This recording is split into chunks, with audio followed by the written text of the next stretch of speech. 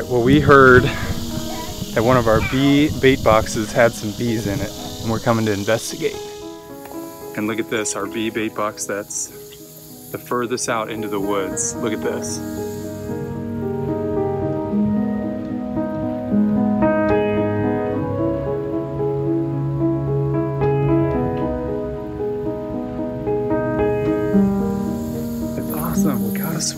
Now we just need to build a new hive, a horizontal hive back at our house. And we can get these guys moved out to the farm.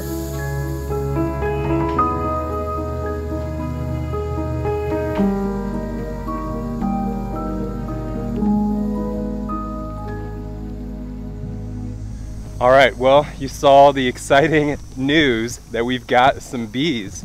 And it only took us about a year and a half to finally catch them, and we are so excited. We haven't even checked our other hives. That's two of our five.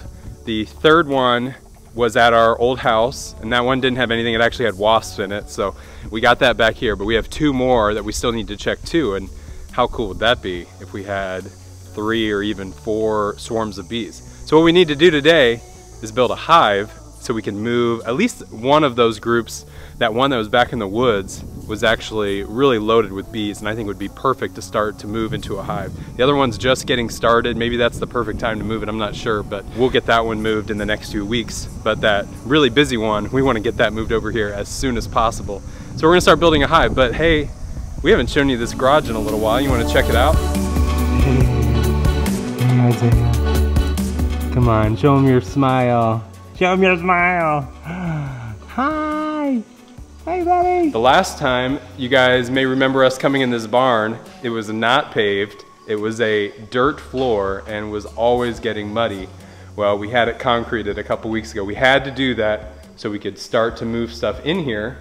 And to move stuff in here, we had to build shelves. So you can see that we have been busy moving shelves in. We've been moving our old junk in and we're working on getting that organized so it'll be really nice and clean. You can see our incubators up here for now. We'll figure out a good place to have them at so we can actually use them. We've got our, our deep freezer with all of our chicken meat in there. And hey, last night at about 1 a.m., Becky and I were finishing up these wood shelves and we've got so much wood here. If you remember at our old place, we had piles of scrap wood just outside of the barn and it was always a challenge to find dry, clean wood and so in here, now we've got it all organized and I can access this wood whenever I need. I'm really excited about it. What's going on, Uriah? Hey, I need, I need, hey, I need to work on a beehive. You wanna help me? Yes, what's beehive? A beehive where we put bees? Oh. And right over here, one more sneak peek. You guys have been asking if we're gonna show some more farmhouse renovations, and of course we are. We've been filming that, and we'll package that together in a video or two coming up soon. But right over here, we've got some sliding barnwood doors that we just painted and it'll match all of our white doors in the house. And these will be awesome. So sometime today or tomorrow, we'll get these moved in.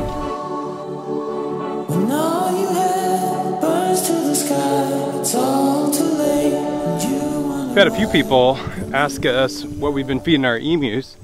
And of course we get our feed from Valley Feed down in the Kansas City area. If you're in driving distance of there, be sure to go check them out.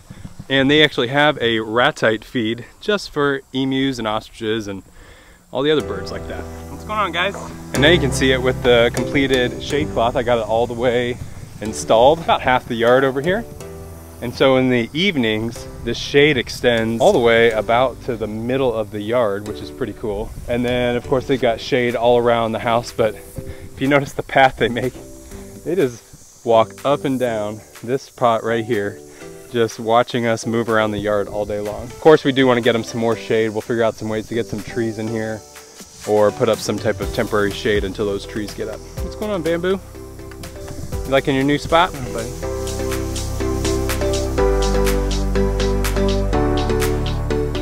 As much as I know we're friends, when he creeps closer to my face like this, like within pecking distance, it's a little, a little scary. Please don't peck my face. ah!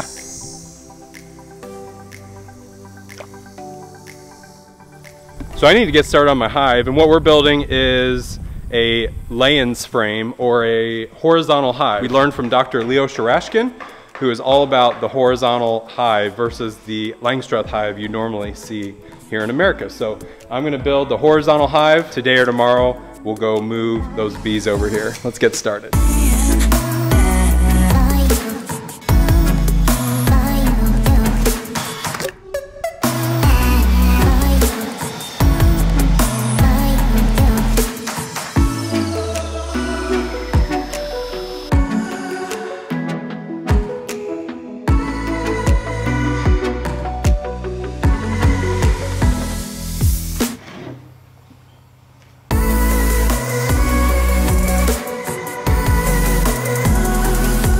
Right, well we made our hive and it's, it's taken us just about all day to get this done.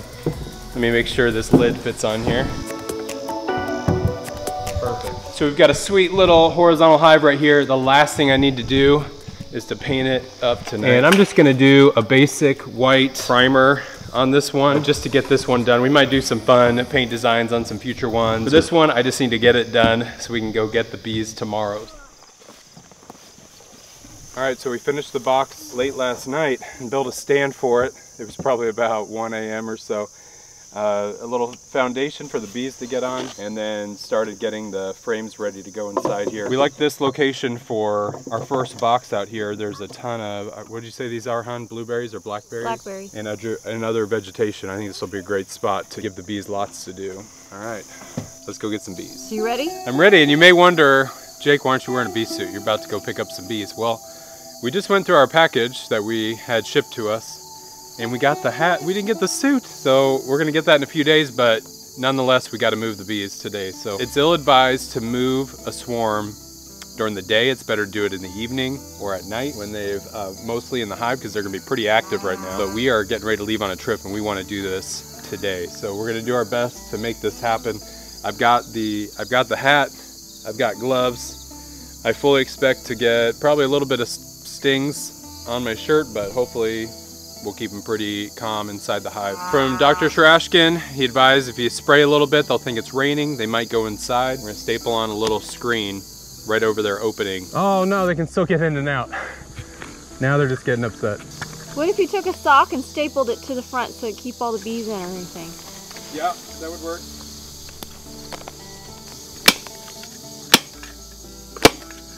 That's better. I like my sock back though. Have you gotten stung yet? No, it barely, only one or two's landed on me that I've seen. You think I can carry this somehow with this? All right, well we got the swarm trap out. There are a lot of bees back there still, but hopefully we got enough of them here and the queen that they'll move over with it. So this one's the furthest one away from civilization, the back part of Becky's parents' uh, property. They've got one in the front too, and we saw, we showed you at the beginning, we had, this was the busiest hive, and then the one in the front is just getting started, it seemed like. So we're moving this one today, and we'll move the other one in a few weeks. So if you haven't followed our, our bee journey very long, last year, in early spring, we met Leo Sharashkin, who preaches getting bees from the wild, getting them for free. And we were on board with that, getting bees that have adapted to your climate. And so we're excited about these bees. Hopefully they can survive the winter. But either way, we'll get them back and we'll start learning how to take care of bees. We have got the the box home here, but wait till you see that they are swarming all outside of this box. So I hope we get enough of these bees moved over here.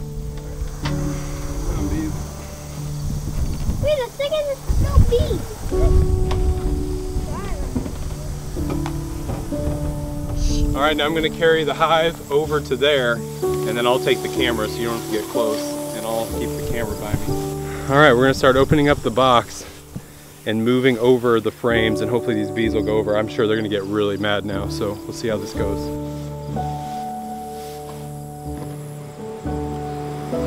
Look at these bees at work. I can only face to the bees, that's all. Wow, look at all these bees. Wait,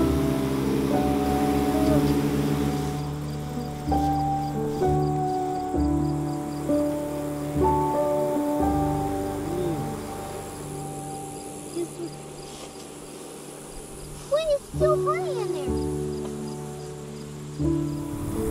Whoa, look at that. Oh, It's falling off the foundation, but that's crazy.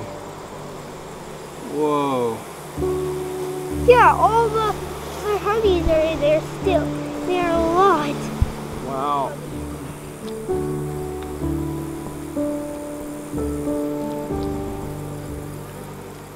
Wow. Crazy. Oh, you had some extra.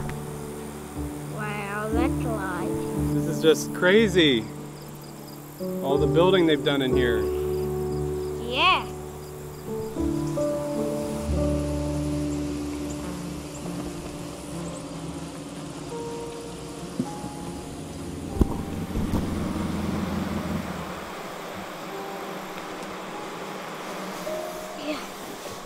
It smells like too. There's like thousands. Yeah. Here's the biggest frame and it's all gonna fall apart. It's all falling apart as I move it. It's like gonna be a big blob in there. I gotta try to get it organized. It's a mess. Oh, this is a mess. I I don't know what they're gonna do with this. I don't know if that's their food or if that's, uh, I see down there like pupa where they're working on bees. I guess Eli.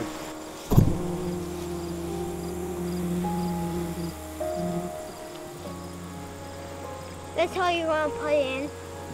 For now, I don't know what else to do for them. I wish you could knock all those bees in there. Yeah, we're gonna have to knock the bees in. He said to knock them out of the box. It said knock it out onto plywood. So I'm not sure exactly what to do here, but we're gonna try to knock these bees out into this new hive.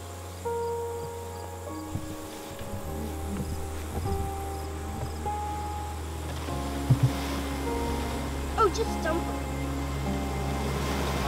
Oh, wow. Now I get really mad. All right, well, we're getting ready to close this lid. No, not yet. I'm getting honey. Okay, we got a little honey. This is a mess. We definitely made some mistakes with this one.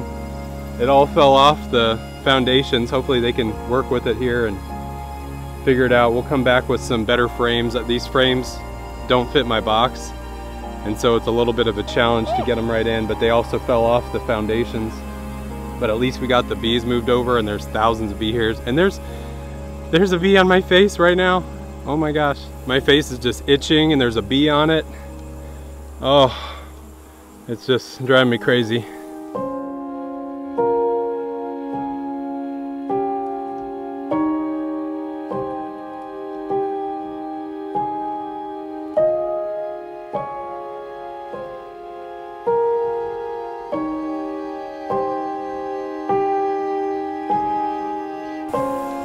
Okay, that one just stung my arm. Ow, ow, ow. All right, well, how do we do, Eli?